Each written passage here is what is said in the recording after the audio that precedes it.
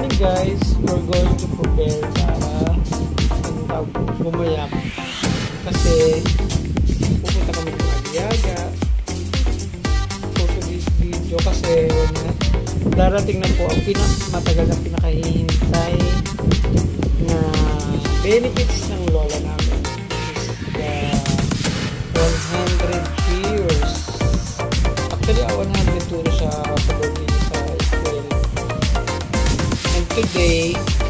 Ibibigay na raw i-award na raw, eh, reward na ni Mayor yung 100,000 sa akin.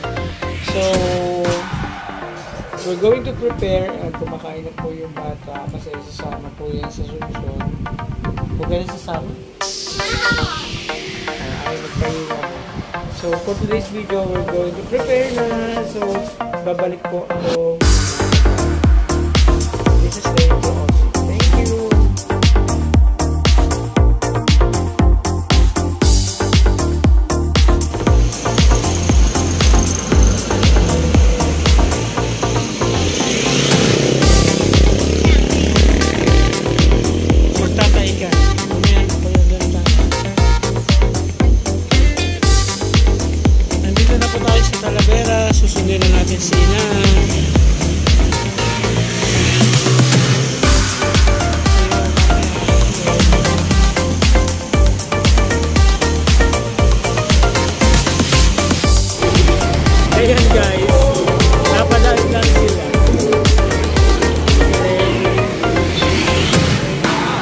Wala lang, natuwa lang.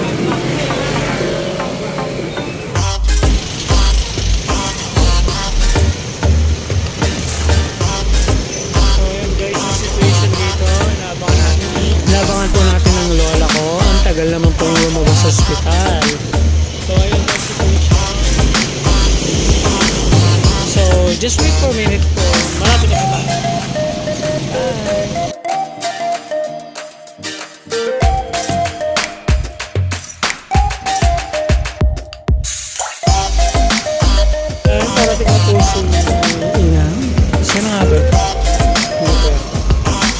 Ganito po ang situation sa ating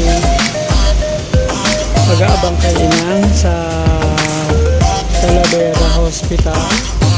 Ayan, Umabot ako kami ng 2 hours sa paghihintay. Ganun siguro talaga yung process kapag ka naglalabas ng patient sa hospital. Ah, medyo may katagalan. May mga pipirmahan pa po kasi kasi in na ano naman po mangyari sa aming lola is wala na po pananagutan. So, medyo matagal na nga lang kami dito sa labas. Nag-aabang. Nasa 2 hours na po ata kami. Ganun.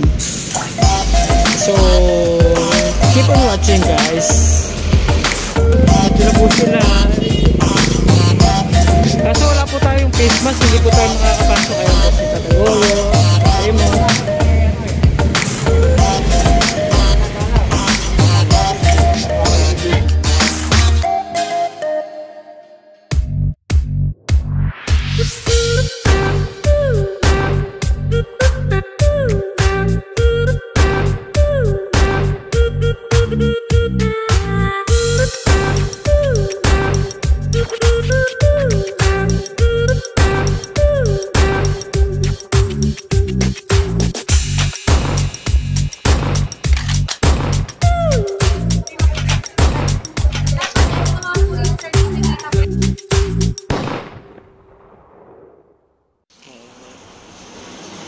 Tanggapan ng Pangulo ng Pilipinas, Malacanang, Maynila. 24 Marso 2023. Ginang Vidalina Esmeranda, Sunson Aliaga, Nueva Ecija. Mahal na Ginang Miranda, isang mainit na pagbati mula sa inyong ikaisang daang karawan. Tunay ngang kahanga-hanga para sa kahit sino ang pagdiriwang ng kanyang sentenaryo dahil ito ay sumasalamin sa isang buhay na puno ng tagumpay, malit man o malaki, mula sa mga pagsubok at kabiguang kalakip nito. Ito ang tunay na halaga ng buhay, ang mabuhay na puno ng pag-ibig, pagsisikap at tagumpay ay at katapangan.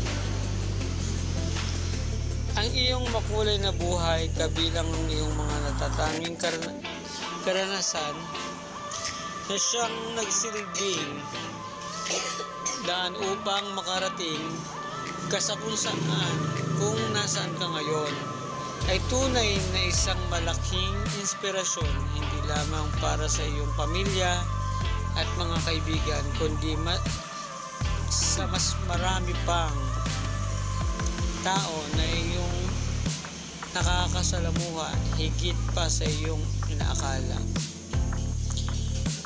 Nawa ang iyong buhay at pamanang aral ay habang buhay na tumatak sa isipan at tularan ng iyong mga mahal sa buhay at mga taong hinaplos ng iyong buhay.